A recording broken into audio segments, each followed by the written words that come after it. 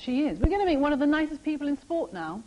You thought I was going to say Hindi. Well, you are one of the nicest people in sport. Actually, no. one of the nicest people in football, to be fair. Um, Linvoy Primus, as you know, defender for Pompey, but uh, we're going to find out that what he does off the pitch is just as important as what he does on the pitch, and that's what we're looking at in Southern Wales. Yeah, Linvoy has teamed up with some fellow Christians to start a football league in Portsmouth for children.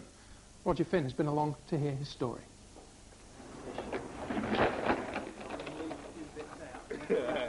A Thursday night in Somerstown in Portsmouth.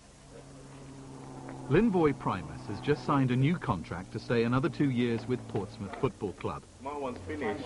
But the journey that brought him to this playground is just as remarkable. As a child, he went to church and hated it. You did really good against Arsenal. No, but we still couldn't stop them scoring. He skipped Sunday school to play football and eventually became a professional with Charlton and his career took off. We wanted to beat them, Liverpool. You beat us. No, no, you Liverpool supporter, yeah? we beat you 3 0 All right, okay, all right, yeah, I don't know about that bit.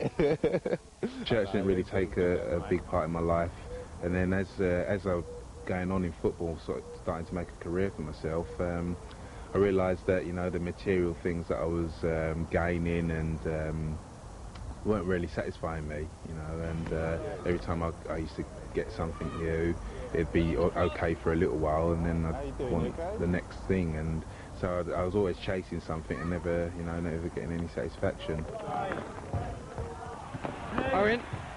When he moved to Portsmouth, Linvoy and his wife at first felt isolated. Mr. Primus. They weren't sure if people wanted to know them for themselves or for their fame and riches.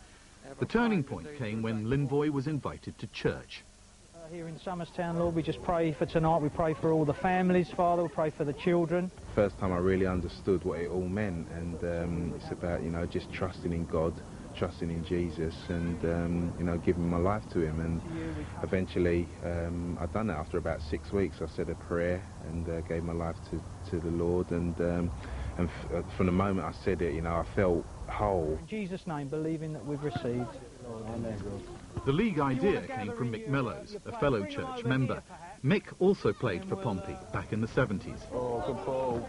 Good save. We don't go there and, and, and, overtly talk about our faith in the, in the first instance. We simply go there as people representing uh, the, the community to organise football.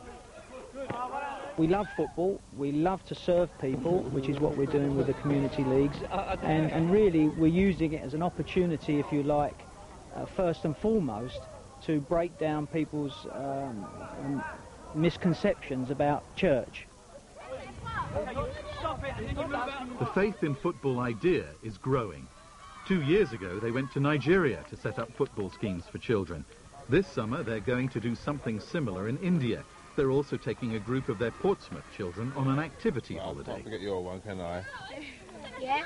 They're, they're, just happy, you know, and to see them happy, and I, I, don't know what their lives are like outside this, but to see them there and they're all getting on with it, mixing in and enjoying it, it's, uh, it's just an enjoyment. I thought you said it's rubbish. That's a joke. See? When we say we're Christians, of course people look at us and they're, they're judging us in a sense on what we do. So uh, really we're not we're not preaching we're just living a life that hopefully will reflect something of the person who we follow. Well done. Better than some of the goals you score in oh, I don't score any